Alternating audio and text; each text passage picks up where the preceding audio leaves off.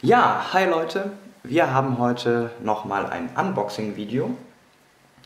Und zwar habe ich von Paul Käfer, dem in Züchterkreisen wohl allbekannten äh, und renommiertesten Züchter Deutschlands und Europas, ähm, ein Pärchen von Dorcus titanus aus Sulawesi bekommen.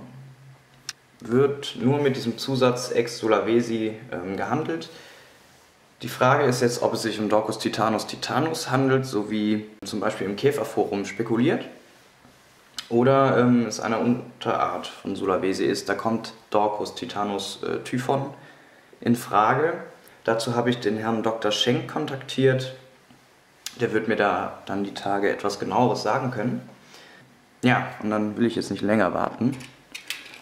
Wir machen das Paket mal auf.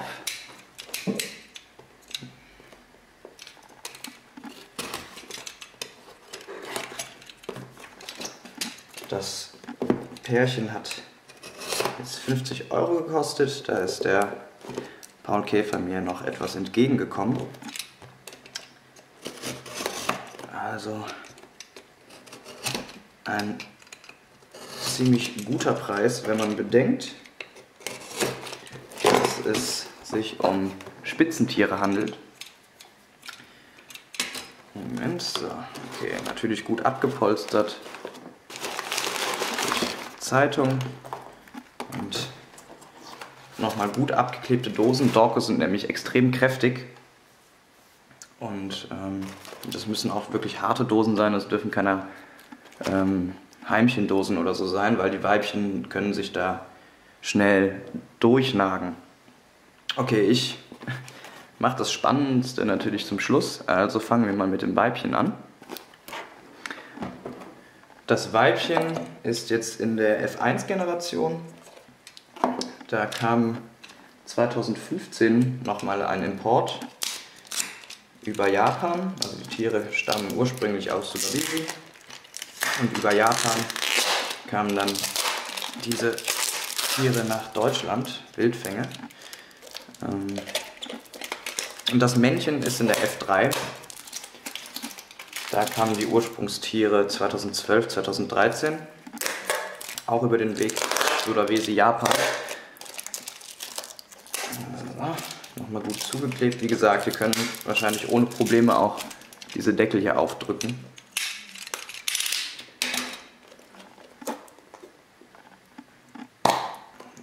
So. Schön hier mit feuchten Spänen und Beetle Jelly also gut versorgt für die Reise. Das kann ich austrocknen und es hat Futter. Und da ist die gute Dame.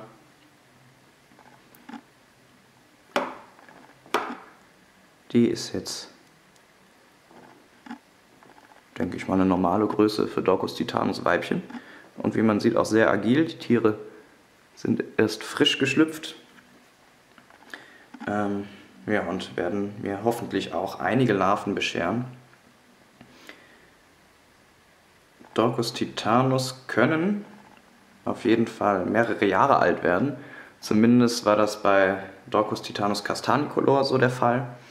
Allerdings kommt diese Unterart, also Dorcus titanus castanicolor, auch aus kühleren Gegenden. Aus Korea, ich glaube auch in Teilen von China und Japan kommt Castanicolor vor. Ähm, Dort ist es kühler und dann ergibt sich diese längere Lebenszeit vielleicht daher. Ich habe die dann auch etwas kühler gehalten, aber Sulawesi ist in Indonesien, eine Insel von Indonesien und dort herrscht tropisches Klima. Ich weiß jetzt nicht, ob die Dorcus titanus dort in Gebirgsregionen vorkommen, aber auf jeden Fall braucht es höhere Temperaturen zur Zucht von den Dorcus titanus aus Sulawesi. Das wurde mir so schon gesagt von Paul Käfer. Tocusitanus castanicolor ließen sich auch bei ganz normalen Kellertemperaturen von 16 bis 18 Grad, ähnlich wie Lucanus, sehr gut züchten.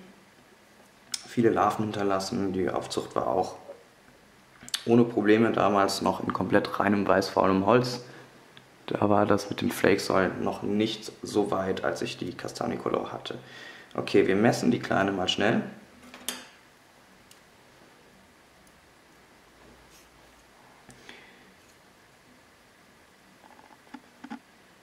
Da sind wir bei, ja, knapp 35 mm. Süßes kleines Ding. Und die setzen wir jetzt wieder zurück.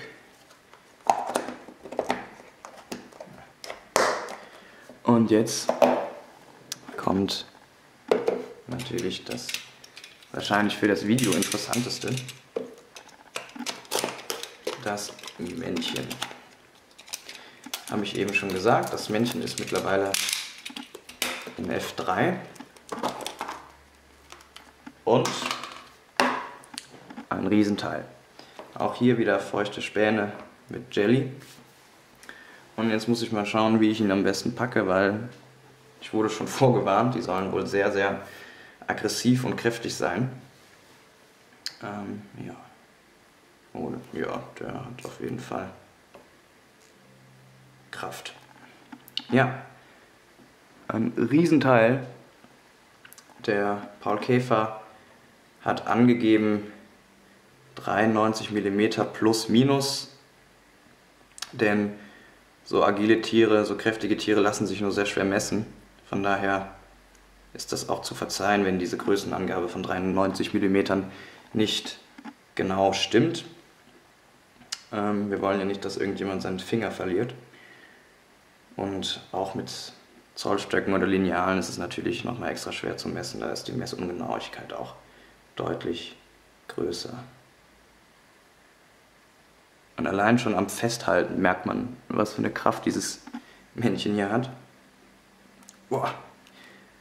Und vor allem wirklich frisch geschlüpft. Die Tarsen sind noch extrem spitz und bohren sich in die Haut.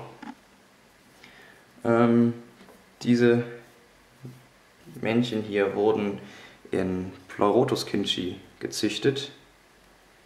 In speziellem, da stammte der, ähm, der Pilz ursprünglich wohl irgendwie aus dem Himalaya-Gebiet. Ähm, und eignet sich wohl extrem gut für Dorcus. Dorcus ähm, lassen sich auch in Kinchi tatsächlich noch besser züchten als in Flake Soil. Ähm, da, ja. Obwohl es natürlich auch in Flake Soil und weißvollem Holz geht. Nur dann kriegt man nicht solche extrem spitze Tiere. Ähm, ja, so ein Männchen braucht in der Größe laut Paul Käfer 16 bis 18 Monate und ähm, verschlingt dabei ganze 9,6 Liter Kinchi, also vier Kinchi-Zyklen. Ähm, ist also eine recht, ein recht hoher Aufwand und wirklich gefräßige Tiere. Ähm, ob da jetzt Protein noch mit im Kimchi zugefüttert ist, weiß ich nicht, aber ich denke nicht, weil der Pilz im Kimchi wahrscheinlich schon Protein genug ist und ansonsten das Kimchi auch kontaminiert würde, wenn man da, glaube ich, zu viel dran rumfummelt. Ich selber habe nämlich noch nie Kimchi benutzt. Ähm, werde auch mal schauen, ob ich das dann wage, wenn ich jetzt Nachzuchten hier erzielen sollte. Ich werde die Käfer erstmal in ganz normale Boxen setzen mit Stämmen und Flakesoil. Also natürlich einzeln. Das Weibchen nur in die Legebox, das Männchen separat in eine kleinere Box, wo nur Humus oder Erde ist und etwas zum Verstecken, weil die Männchen sind wohl sehr aggressiv und können die Weibchen ohne weiteres in der Mitte durchknipsen. Das will ich natürlich nicht. Mm. Und das Ganze bei dieser Unterart, wenn es denn eine Unterart ist oder nur die Nominatform Titanus titanus, nur eben von Sulawesi, das weiß ich noch nicht. Da lasse ich mich von Herrn Dr. Schenk schlau machen, werde das dann auch noch hier im Video anmerken, wenn ich da genaueres weiß. Und ja, das Ganze geschieht dann bei 20 bis 21 Grad die Aufzucht. Dann wollen wir doch mal messen.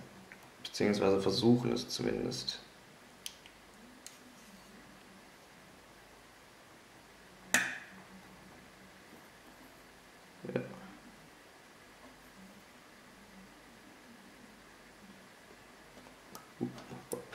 Ja. da lag er mit 93 mm auf jeden Fall nicht ganz unrichtig. Die sind jetzt hier knapp über 92 mm.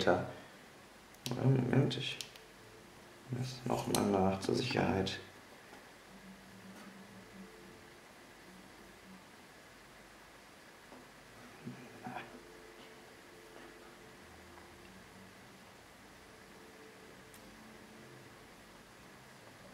Hm.